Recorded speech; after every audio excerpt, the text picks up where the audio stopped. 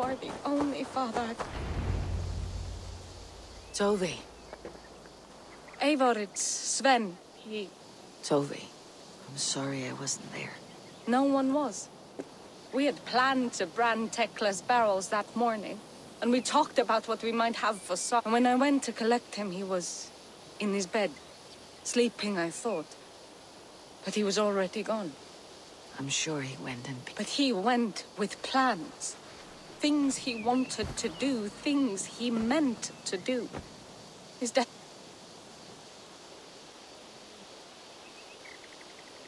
What stories do you mean?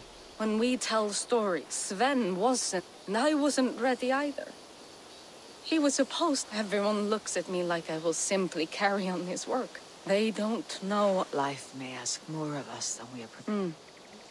I was not prepared to lose my parents. That must have been... Someone else might have done better than me. I know Sven believed, He was the most... and he chose you. Thank you, Eivor. I need to get home. Be strong, Tovi, and know that you're valued.